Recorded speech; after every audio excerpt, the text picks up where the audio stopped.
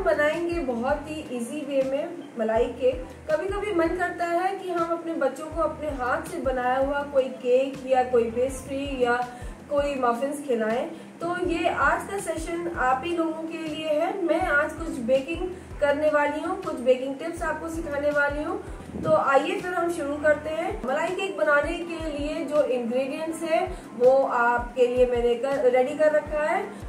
ये होता है मेजरिंग कप और इसी से मेजर करके हम यहाँ पे रख रहे हैं 240 फोर्टी मलाई ले लिए। घर की मलाई हमने यहाँ पे ली है। फुल फैट क्रीम आपके पास फुल फैट मिल्क है आपके पास तो आप उससे घर की मलाई ले सकते हैं।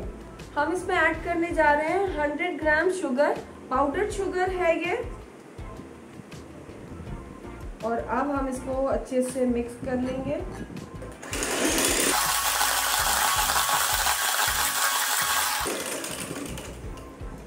अब हम इसी में ऐड करेंगे सेमोलिना कहिए, चाहे सूजी कहिए।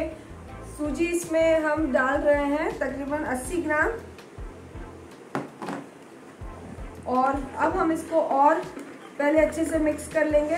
कि सूजी की टेंडेंसी ये होती है कि वो पानी पीती है, सोखती है पानी। तो इसलिए हम पहले सूजी इसमें डाल रहे हैं जिससे कि सूजी अच्छे से फूल जाए।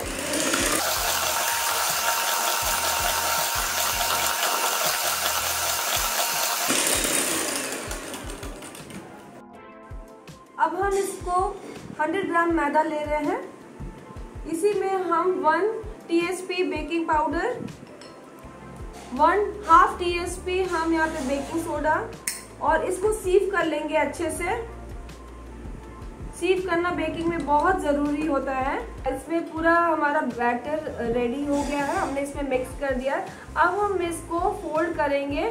फोल्ड करने का सबसे बेसिक टिप्स ये होता है कि इसको हम बहुत ही स्मूथली फोल्ड करते हैं।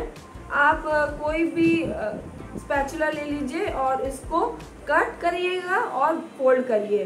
कट करिए और फोल्ड करिए। बस इसमें और कुछ रॉकेट साइंस नहीं है। ये आप देख सकते हैं, ये पूरा अच्छे से हमारा मिक्सचर रेडी हो गया है। हम इसमें ऐड करने जा रहे हैं vanilla essence tutti frutti chop किए हुए नट्स बादाम हो गया, काजू हो गया। और अब हम फिर इसे मिक्स करेंगे और अच्छा सा एक स्टर देंगे। और अब हम इसमें ऐड करने जा रहे हैं 60 ml मिल्क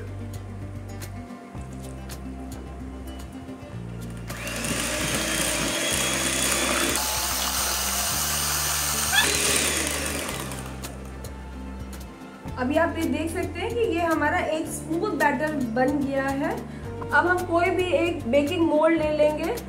हमने इसमें बटर पेपर लगा दिया है थोड़ा सा पैन को ग्रीस करके। अब हम इसमें पूरा पोर कर लेंगे। अब इसे हम बेकिंग के लिए लगा देंगे। इसके ऊपर से थोड़ा सा हम गार्निश करेंगे चॉप नट से। राखी है तो आप भी चाहेंगे कि हम इसको बनाएँ तो बहुत ही सुंदर तरीके से बनाएँ। ये तो पूरी मलाई केक के लिए जो मिक्सचर बैटर है, वो रेडी हो चुका है। अब ये जाएगा बेकिंग के लिए। तो इसको फटाफट हम बेक करेंगे 180 डिग्री पर 15 से 20 मिनट्स के लिए। हमने अपना अवन 180 डिग्री पर सेट कर दिया है 20 मिनट्स के लिए। अब हम इंतज़ार करेंगे 20 मिनट्स तक कुछ चाय कॉफ़ी के साथ, फिर हम आते हैं अपने मलाई केक को लेकर के। एकदम क्लीन है, इसका मतलब ये अब हो चुका है और हम इसको निकाल लेंगे फटाफट। बहुत गर्म है और मुझे खुशबू भी बहुत अच्छी आ रही है, आप देख सकते हैं इसका कलर इसका टेक्सचर अभी इसको हम कूलिंग रैक पे रख देंगे जिससे कि ये ठंडा हो जाए, फिर हम इसको कट करेंगे और फिर इसकी प्लेटिंग करेंगे।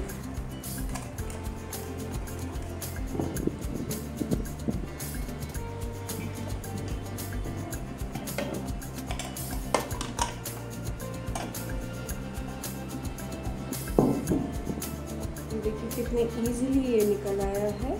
ये हमारा सूजी मलाई केक रेडी है। आप लोगों के लिए, आप भी अपने अपने घरों में बनाइएगा ज़रूर।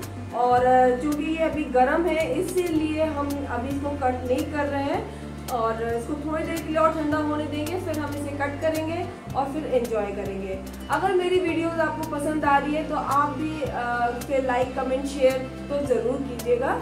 और, मिलते हैं फिर किसी नए वीडियो में नई रेसिपी के साथ। तब तक के लिए देखते रहिए chef Ritu Jaiswal thank you so much